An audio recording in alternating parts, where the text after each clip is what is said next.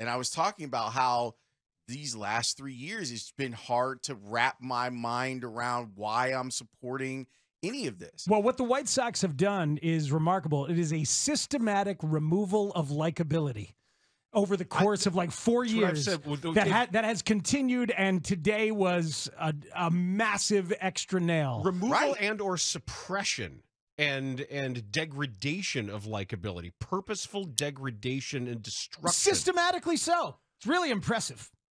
Yeah. The disconnect is the most impressive part of it to me. White Sox fans love Jason Benetti. Correct. The industry loves and reveres his work. But like three people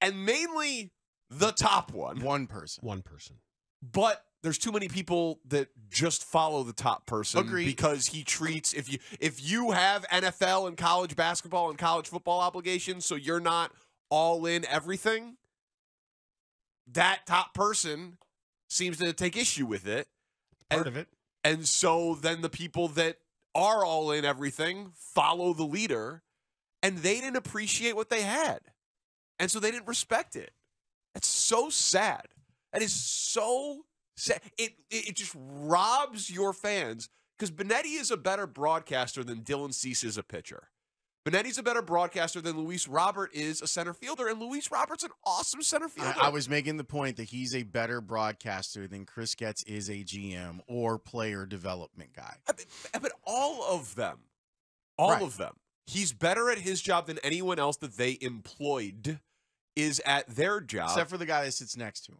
and yeah, I mean, they're both great, but He's joining us today at 240. yeah, he's ca- but and, Steve and, Stone and will be Benetti on will join But, us. but yes, your your point is made. and, and, and- but it is just a wild disconnect between. It goes back to he who has the gold makes the rules. A hundred percent You know, because because the no one else's opinion matters. the business has evolved, but not everybody has to evolve with it.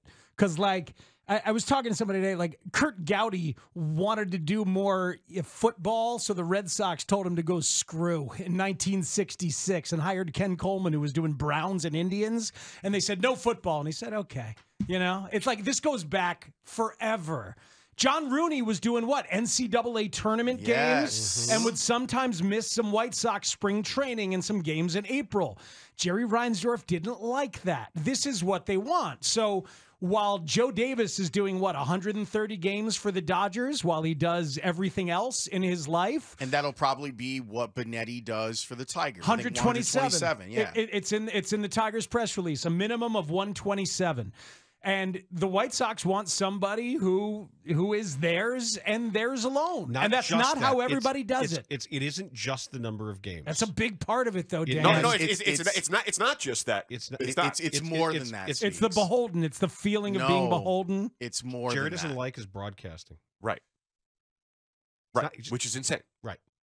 That it's it's, Yeah. it's it's it's much more subjective. Doesn't like the joking around or references he doesn't understand or it, he just he, he's he doesn't think he's funny. And he's wrong about that because he is objectively hilarious, but that's not what Jerry wants in a broadcaster. Right. Well, in, It, it's it's crazy. in the end, It is crazy. in the end, it's like ultimately, I feel like it's sort of similar to Kasper's move to the radio just because he wanted to. It's ultimately inspiring. Like, go chase happiness. Just because you're like actually working for the thing you always thought you wanted to work for doesn't mean that you're supposed to be happy. And if you're not happy, go find somebody and some place that wants to make you happy. That's really good for all of us all to know. is. we we were talking about the whole concept of That's like the dream job, and then you get it, and you're like, oh, this is like, that's kind of how I felt with doing like the national show. And maybe it had been different if it had been a different time, but doing a national radio show was something that was always on my list until I was doing it. I was like, this is not. There's there's nothing about this that is fun for me. Yeah, and, and, and it's like, and sometimes you got to find the place that's that's desperately in need of something like you. Detroit used to have a really good broadcast. Then their play-by-play guy and their color guy had a big fight. Oh, Mario Impemba, right? It got really toxic. They Ma- they Mario a- was doing he was doing Peoria Chiefs when I was doing the uh, the Madison Muskies. They had a physical fight at press level five years ago, and Yeah. they both got fired. And so for five years, it's been this guy Matt Shepard who does other things, and some Craig Monroe, some Kirk Gibson, some Cameron Maybin. They need to upgrade. So their fans and that whole organization are like, "Holy, we can get Benetti? Are you kidding me?" So that's where you got to go. we can if hire you Craig wanna- Counsell. Yeah. And we can hire the the the, the best the, the market standard right now wants to come here. Away from a division rival. Yes. Yeah. It's a balance though. Of course I'm happy for Jason. You're happy for your friend. We were personal connections in this. I have no problem admitting my bias there, and that's the number one emotion. I'm happy for my friend. Period. Next paragraph. It is sad. It is a sad thing. Yep. You know what I mean? Like it is a like that he had to pursue this. To be happy. Yeah, Yeah, it's sad It- that it- he it wanted is- to leave. It is sad. Hmm.